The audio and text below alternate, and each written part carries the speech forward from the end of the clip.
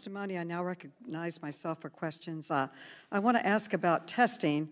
I'm being asked over and over again uh, why the United States is so far behind other countries and why the American people cannot get tested. Our, our first case of coronavirus was on January 21st, and the U.S. has tested approximately 4,900 people so far. In contrast, South Korea has already tested almost 200,000 people.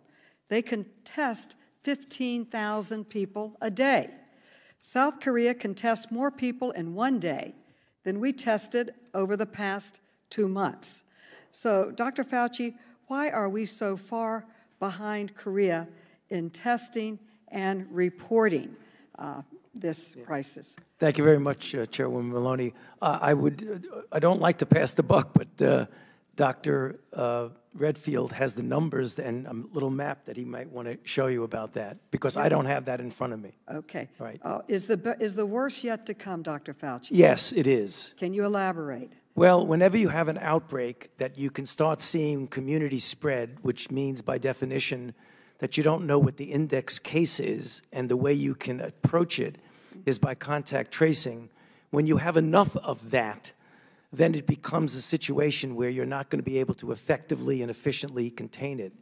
Whenever you look at the history of outbreaks, what you see now in an uncontained way, and although we are containing it in some respects, we keep getting people coming in from the country that are travel related. We've seen that in many of the states that are now involved.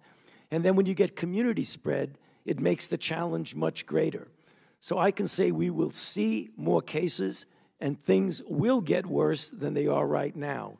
Bottom line, it's going to get worse.